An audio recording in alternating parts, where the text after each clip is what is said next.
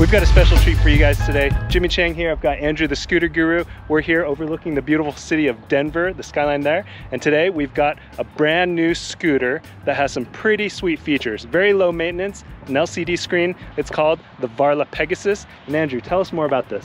One nifty feature about it is it's got an LCD display that I haven't seen on other ones and also a thumb throttle. So we're about to open it up. I think we're the first Americans to receive this scooter. Special thanks to Varla for sending this to us. Let's open this up.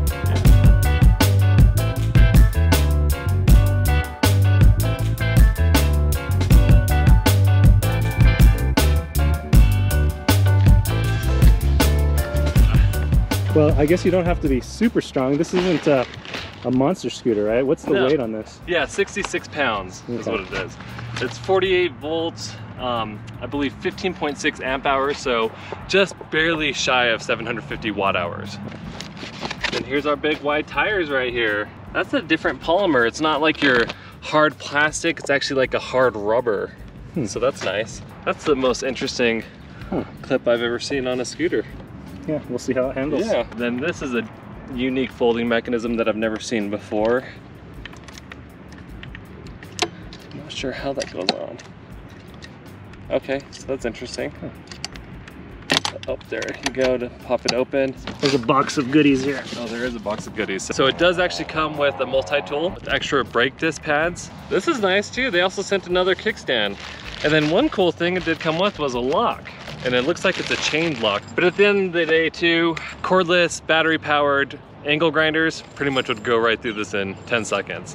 So I would never use a lock like that in a place that's kind of a high crime area. I would use this if I were to go to a restaurant, lock up my scooter somewhere near me where it's kind of in my sight of view, but I don't have the opportunity to just keep my full attention on it. I think that way I can have peace of mind, eat my meal or study at the library, do whatever I need to do, but I don't have to have my full attention on the scooter. I have to say, I am extremely impressed with their instructions. Very thorough, um, tells you what to tighten up, tells you what to maintenance, and they also comes with, I believe, a two-year warranty, which I thought was pretty awesome.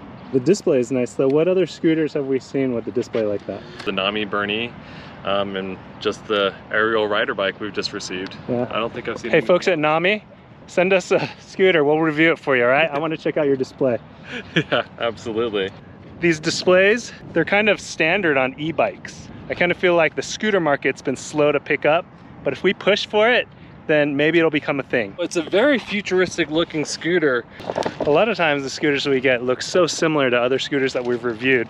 They end up just being rebranded, you know, it's the same scooter, just different badge, maybe a couple modifications, but this scooter looks unique. It's got it's got a different look to it for sure.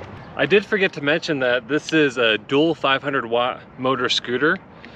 So not the most powerful scooter, but it's nice to have dual motors because especially going up hills, they help out tremendously. It's always a balance though between the power you need and the weight. You know, you if you're using this as a commuter scooter, you don't want something that's too heavy that you have to lug around into the office or um, into class. It has a thumb throttle, which is really nifty. A lot of people prefer thumb throttle over the trigger throttle. I don't mind either one, but it's nice because a lot of people pay to upgrade to a thumb throttle. So yeah, we brought this over here to charge up because normally when you pull out scooters out of the box, they're about 50% charged. So what a nice way to get some portable power. Yeah, the EcoFlow River Pro. And it should buzz. Yep. Yep, so the light is red, the sun is out, and the scooter's charging up. charging. Yeah. All right, perfect. The interesting thing about the scooter is it comes in at a really nice price tag at 1,099. Just one thing to know about Varla is they're a little bit of a newer company. It says they're based out of California, but I think a lot of the, the business is being ran from China or Singapore.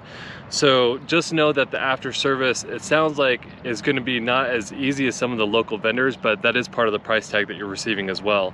But they do have a two-year warranty on it, and it looks like they'll cover pretty much most parts in that situation. So 1099 for for a dual motor scooter is pretty impressive.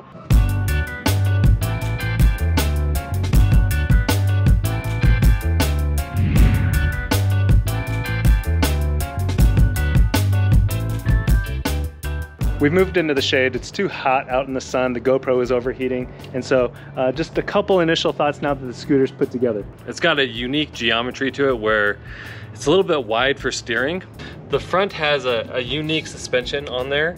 It looks like the back rear suspension of a Kaabo Wolf Warrior or Kaabo Wolf Warrior X, Kaabo Wolf King. So that is different. I've never seen this type of suspension in the very front.